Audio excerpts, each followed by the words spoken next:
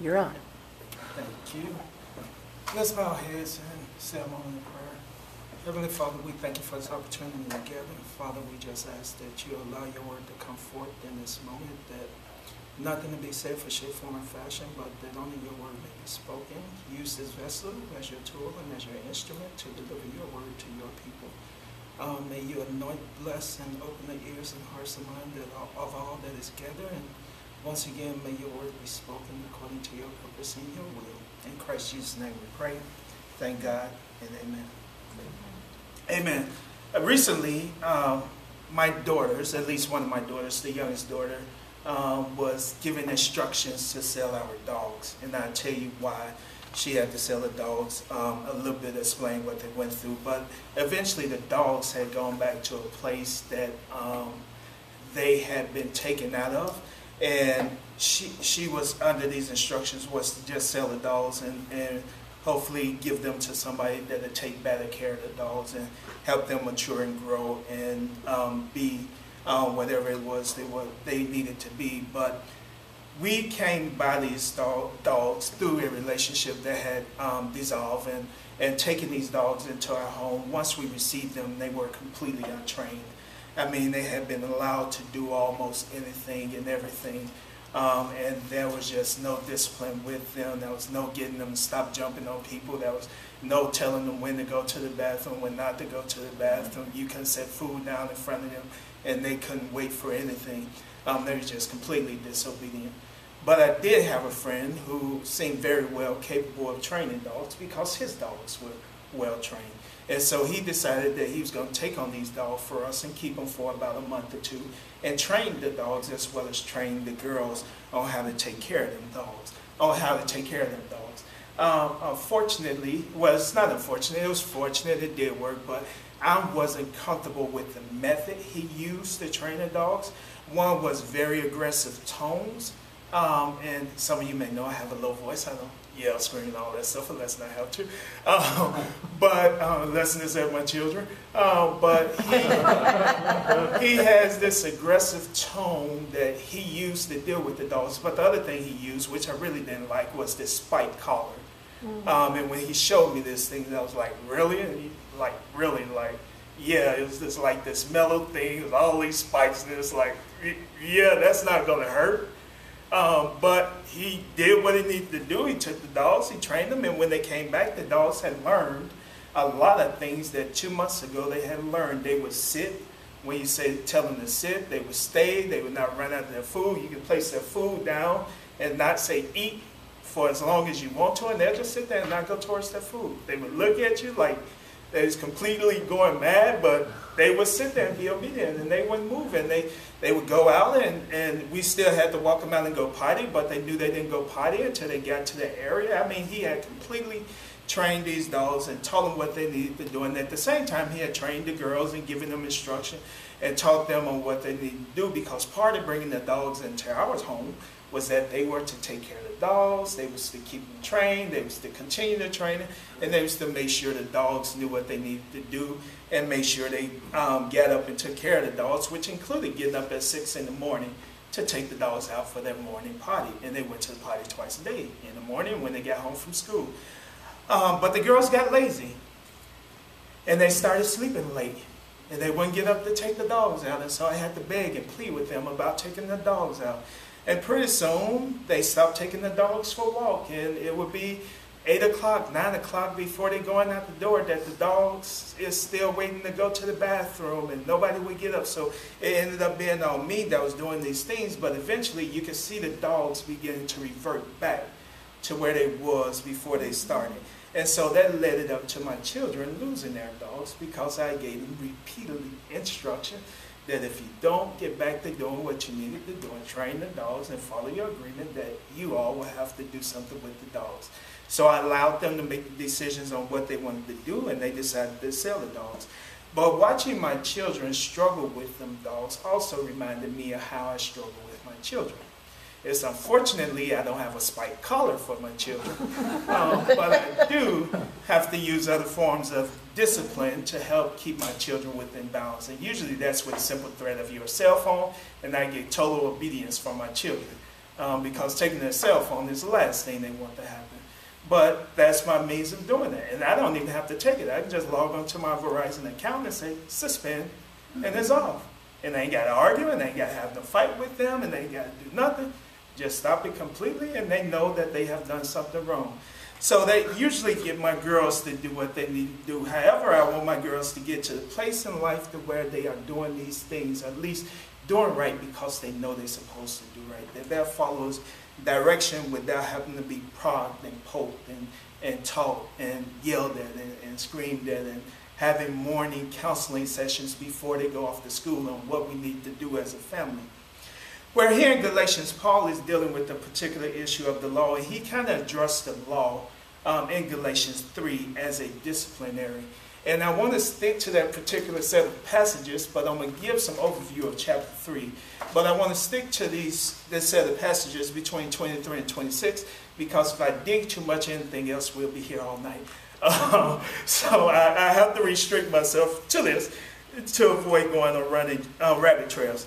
Um, but he started in 23. He said, Before this faith came, we were held prisoners by the law, locked up until faith should be revealed. So the law was put in charge to lead us to Christ that we might be justified by faith. Now that faith has come, we are no longer under the, under the supervision of the law. You are all sons of God through faith in Jesus Christ. And I'm just going to stop there. Well, I can read from this one. Yeah, stop there. Um, but I'm going to stop there because I want to go back and kind of review where Paul started at. And he started there with his frustration with the people of Galilee. Um, he's frustrated because they had allowed themselves to be, as he called it, bewitched or fooled um, by these, these, these um, Jezerites, Judaizers um, in Scripture that had begun to pull them away from the things that he had taught them and instructed them.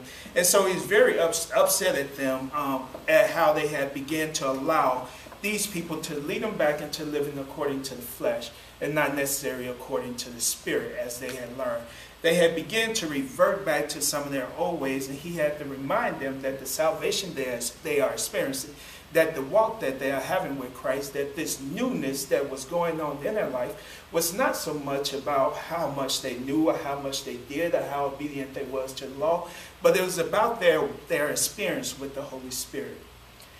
And so he kind of continued to talk to them about that, but he also reminded them of Abraham's righteousness and how Abraham was counted faithful for his righteousness and how he walked by faith righteously, um, not because of what the law had to say, because the law wasn't there. But his, his walk with God was done faithfully because he had this relationship with God. This relationship that was developed with him through a covenant with God. And that covenant promise still stood despite the fact of the law. But the law had a purpose. And then the purpose of the law, there was some things that had to be accomplished. And part of that was that we had to be taken to a place to where Paul described as the offspring. Because the promise of the law, as Paul pointed out, the promise that was made to Abraham, rather, was not to the offsprings, or to an offspring there's no S on that word um, in Scripture. And so he wanted to get them back to that place to where they was making sure they was connecting with the offspring. And that they held on to that promise that came that, were, that had come to them through the offspring. Um, but the law for him, Paul, the law for them, Paul reminded, was a curse. And the law is still somewhat in a sense a curse because we can never live up to the law. We can never follow the law. We can never be obedient to the law. The law has its goodness within it, but the law can never produce life. The law never produced the perfect people. It was always a struggle. It was always difficult. It was always hard for them to follow the law. No one, including us, have followed the law but Jesus Christ. And it was only through Christ's faithfulness that we get to this place in our walk with God that the Jews and the Gentiles during the time of Paul get to this place to where they can begin to live out life through faith with Jesus Christ. And they began to make this connection with God, their Lord and their, and their, their King through faith. And so I want to talk a little bit more about that and just kind of go through the scriptures a little bit more. We talked about the law being established, that the law was there for a reason. And the law was there because just like my children, Um, well, I think, let me go back. I think when I grew up, growing up, and, and just tell the story, growing up, I can remember being in places where I said certain things, where I'd done certain things, got certain consequences. And the words that came out of my mouth was, I'd never do that to my children. But I can tell you several of those stories, at least one. I'll tell you how these things went down. I would do something bad, and my mom would discipline me. Um, as a young kid, it was easy for her to do that until I figured out that I could outrun her. And when I learned how to outrun her, when I learned how to break that grip off my wrist and run away, she developed another technique that caught me by surprise one night around 3 o'clock. I felt a nice hard whack um, that woke me up and let me know that I was in trouble. And so she would come in in the middle of the night and she would start to give me my discipline. But unfortunately, I still didn't learn because I would still do things. And so this time when I knew I'd done something wrong and that she knew because she would say, make comments or something, I would grab about four or five blankets and I would wrap myself up and I'd go to sleep and wait for her to come in. And it helped a little bit. But then she discovered a way around that one. And that is, is when she came in the room, the first thing she did is just snatched off the blankets. And I would run, and I would run under the bed, and this, this is actual illustration. She'd swing the first time, I run under the bed, and I run out the door. But she always got that one or two licks in before I can get away. But my mom did what she did, and she did the best she could as a, as a parent. As a single parent raising 10 kids, um, she did the best she could. And she was trying to do her best with me, but unfortunately, I didn't want to listen to her. And for that, she tried to deal with me through spanking and grounding. Grounding, I never really did, because if she left the house, I snuck out. Um, but one day, and this is getting back to that something I would never do to my children. One day I did spank one of my daughters. And when I did that, the fear I saw in her eyes caused me not to want to do that again, ever again. And I haven't. And that's why I developed other means of disciplining my children because I just didn't like the way my daughter looked at me at that moment. I never wanted my daughters, well, I still don't want my daughters to fear me and I try to teach them that as a part of their rules. Don't ever lie to me. You tell me anything. I may not like it. You may get consequences, but tell me everything. Just don't lie to me. Um, but we try to have that relationship. But that moment, that moment caused me to pull away. But the Jews nor the Gentiles, and not even ourselves, can follow this law that has been established um, through the teachings of Moses. We can't even follow the Ten Commandments that were set forth by God we all seem to keep falling short in those measures. And so the question becomes for most of us is how are we going to get to that place that God is calling us to? Because we can't seem to do this right. But the law had a purpose. The law helps us to realize that we are deprived, that we live in a state of depravity, that we are not perfect, that we're going to make mistakes, that we're going to go in the wrong direction, that we're going to make poor decisions, have bad judgments. We are all suffering from the same thing. We have a sinful nature. And that even though the law, some people can say, well, it, it does have several steps to it. Um, there's the ceremonial law, the civil law, and the moral law. But even looking at those things, there's nothing in there we can, that kept the children of Israel, that would keep us today from being completely obedient to the Word of God, from, to those instructions, especially the law as it would be ceremonial or civil, because some of those things we just wouldn't want to practice today. Um, but Christ's faithfulness, Christ's faithfulness became the end of that law. Christ is the telos of the law. The law ends with Christ in the sense that we are no longer bound to try to fulfill it, not as a, because I didn't want to get trapped in this way, but not as a um, disobedient student, but not trying to fulfill it as being perfect and living in complete obedience to it. That our salvation is, is coming to us by Christ's grace, by his death upon the cross, and by the price he paid for us. That is in his faithfulness and his faithful walk. That we are entering into God's grace. Because the walk is not simple. But the walk I do want to have with God, and I'm sure some of you can agree with me, that the walk I do want to have with God is a walk that's, that would be built on this statement. Or at least when I get to God, I want to hear something like this. Well done, my good and faithful servant. That's the one prayer that I have for myself that I would really like to hear from God. It's well done, my good and faithful servant. Because I want to be found faithful in all that I do, but I know that in the meantime, I'm going to fall short. I can do the best I can in everything, but unless I'm walk, unless I'm living in Christ, unless Christ is a part of my life, I'm not going to do it well. So I have to walk by faith, and I have to have that faith in Jesus Christ. So Christ being the end of that law, Christ is our salvation.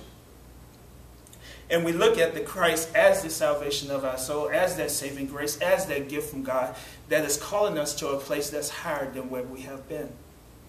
And that doesn't mean that we're in higher than the Jews or anything like that, so don't get on that theological trip. It's simply about us being in a place to where we have this relationship with God.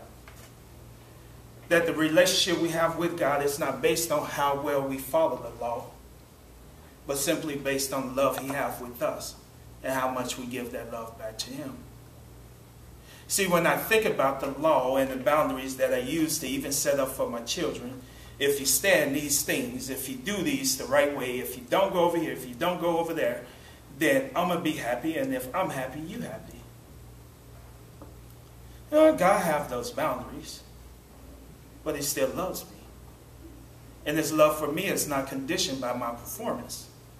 Yeah, he wants me to do well. Yes, he wants me to be obedient. Yes, he wants me to follow his commandment and to do his will, and it's my desire to do so. But as Paul said, those things that I don't want to do, I do, and those things that I do want to do, I don't do. So there's a struggle sometimes, even within me, the perfect Corey, that doesn't allow me to do the things that I want to do. Because sometimes, like Mike, I have those insane thoughts that I just want to take life into my own hands and deal with people and things my own way and, and just not have to wrestle with it. Because even in talking about my children and their obedience, there's this young girl staying with us. I, I, I guess I come up with the term adopted child. I don't know. but she's there. And it's like you're 18, you're in my home. I really don't know what to do with you. But if you keep being disrespectful and not following the rules, then I'll have to put you out. At least I'm saying this and I'm going through this in my mind. How do I deal with this child? She got two more months and she off to the Navy and I'll be free, hopefully. but two more months. And it's like, and I'm praying to God, how do I deal with her? And God has given me all these things on how to deal with her in a way that's not kick her out the house.